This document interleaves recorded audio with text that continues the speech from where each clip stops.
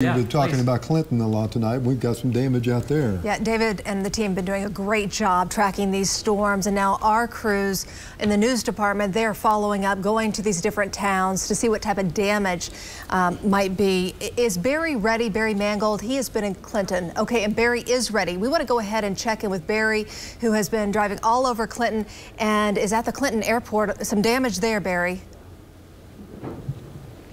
Yeah, Amanda, we are here and actually at the Clinton airport right now. And thankfully, uh, according to the police chief, there have been no injuries reported with this storm. However, just about every hangar has been damaged, including this one, which was actually flattened. If I were if, I were to double my height, I would definitely be up, up to the roof right now. It's on, it's about under 10 feet, and unfortunately, two different airplanes, three different vehicles were under this uh, it, like under this hangar, and so right now the owner tells me they are just assessing the damage, trying to make sure, uh, and, and just looking around, getting inside here for the first time in the past hour. Like I mentioned, the other hangars in this air, at the airport all were damaged to some degree, but again, no, no injuries according to the police chief.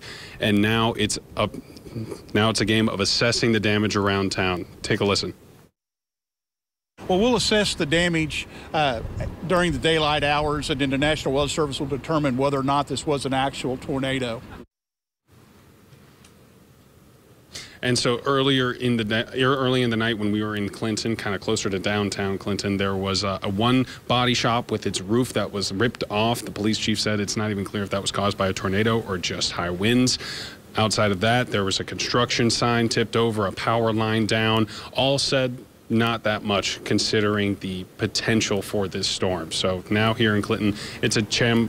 It is a game of assessing the damage, but thankfully none too serious. I know that we saw someone who appeared to be the owner of that body shop afterwards, and we went and uh, earlier this evening we went to uh, Arapaho and uh, other areas around there. We did not see any extensive damage in this area. Again, it appears that the most damage here in Clinton is right here in this hangar where which was holding again three airplanes and three or two airplanes excuse me and three vehicles here. And for the owner uh, it's just a game of finding out what is insured and what's not.